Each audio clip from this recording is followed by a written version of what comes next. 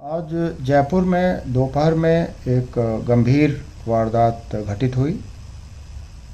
श्री राजपूत करणी सेना के अध्यक्ष सुखदेव गोगामेड़ी की हत्या कर दी गई।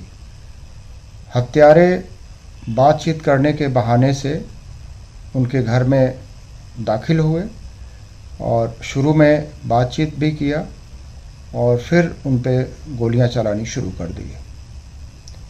इस गोलीकांड में श्री गोगा गोगामेड़ी को व उनके एक अंगरक्षक को गोली लगी।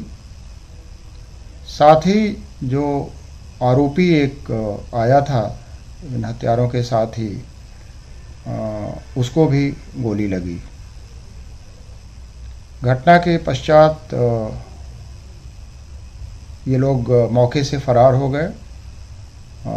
दोनों हत्यारे और जो आरोपी साथ आया था उसकी व श्री गोगा मेड़ी की मृत्यु हो गई।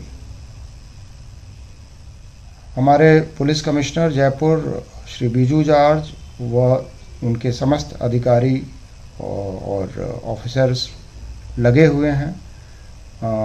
संभावित जो ठिकाने हैं बदमाशों के, वहाँ दबिश दी जा रही है। पड़ोसी ज़िलों में और बीकानेर संभाग में भी इस संभावित जो बदमाशों के कॉन्टैक्ट्स हैं, उन पे भी दबिश दी जा रही है। और हरियाणा डीजी साहब से भी हमने बातचीत कर उनका भी सहयोग मांगा है। रोहित गोदारा गैंग ने ज़िम्मेदारी ली है। ये अरेस्ट हम जल्दी से जल्दी सुनिश्चित करेंगे। निश्चित रूप से ये गंभीर घटना है और पूरी गंभीरता से इसको लेते हुए हमारी टीमें लगी हुई हैं। शीघ्र हत्यारों को पकड़ा जाएगा और कठोर विधिक कार्रवाई उनके खिलाफ की जाएगी। मैं अपील करना चाहूँगा सभी से कि वो धैर्य बनाए रखें और शांति बनाए रखें। निश्चित रूप से हमें सफलता मिलेगी।